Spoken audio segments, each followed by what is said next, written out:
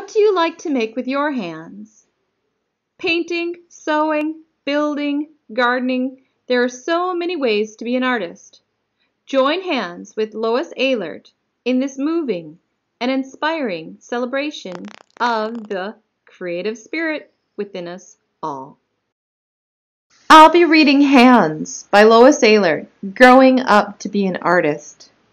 Isn't this beautiful? Set up like a palette. The whole book is really interesting because it has images collaged into the pictures of pencils and brushes and paper and scissors, screwdrivers. This is supposed to be a little box of screwdrivers. It's a picture of it. And when you open it up, it says Hands, Growing Up to Be an Artist by Lois Ehlert. And you can see all the screwdrivers. You close the box and turn the page. This book is dedicated to my mother and father. My father always works with his hands. He builds things in his workshop. And you can see here, it's a wooden birdhouse. And look, there's a pencil and a measuring um, ruler. You turn the page. There's the back of the house. He measures with his ruler, marking the wood with a pencil. Then he measures again, just to be sure. He's picky. When I help, I try to do things like he does. He's showing me how to paint, pound nails straight, and saw wood. And here you can see paintbrush, hammer, pliers, and a pencil with paint speckles on it. And look at this looks like a piece of his clothing with speckle or spots of paint. My mother makes things too. This looks like a quilt. And a doily with lots of colors behind it. She has lots of colorful cloth ribbons, lace, buttons, and thread. And here are some of the things that, that she just wrote about. Oh, a butterfly.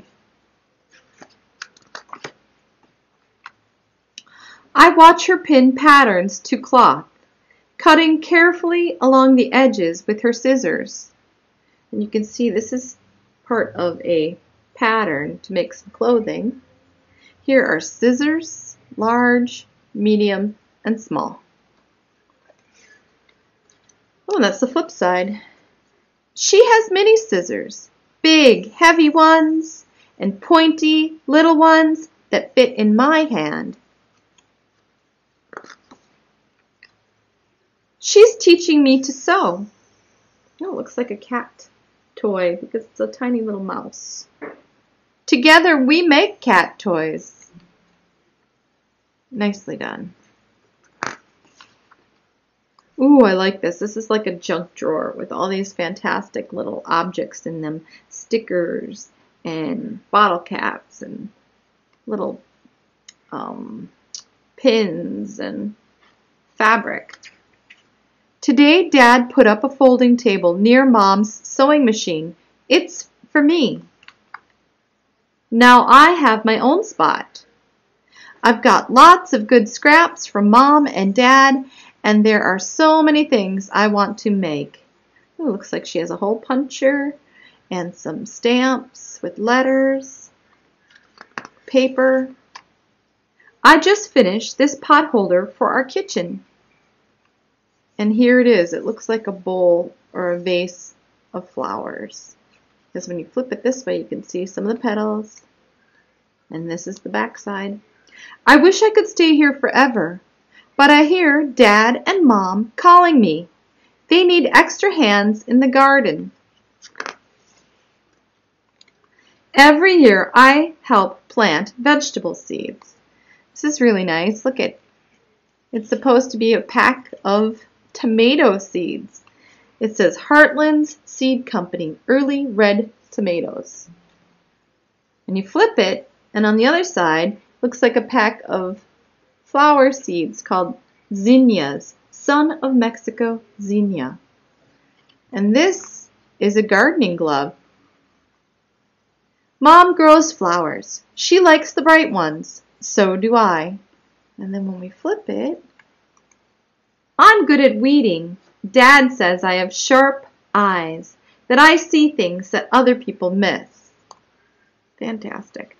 And look, this is a palette in a watercolor set. You can see she's been mixing colors. And when you flip it up, you can see a different side of the palette.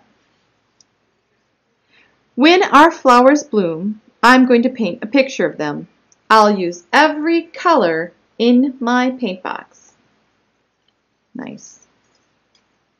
Oh, and here is the paint box. She's going to use every color. Until then, I'll be working at my table because I know when I grow up, I want to be an artist. Here's a handprint. Must be her handprint. Then I'll join hands. Here's a bigger hand with my mom and dad. This must be dad's glove, mom's glove. Very nice. The end.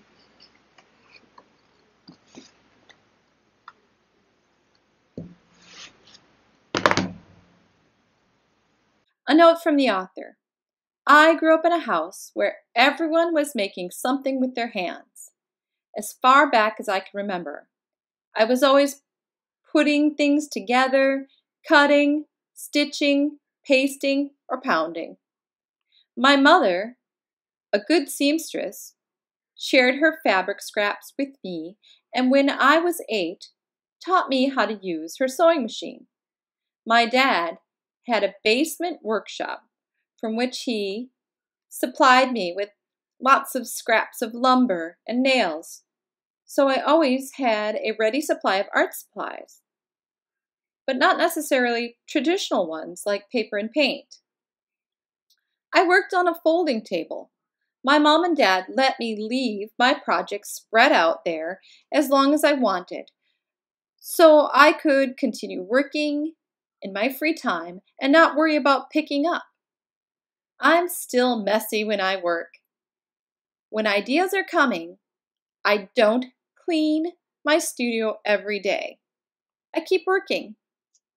I know there will be days when I have no ideas and then I will have plenty of time to clean up and empty my overflowing waste basket. Sorry, waste basket.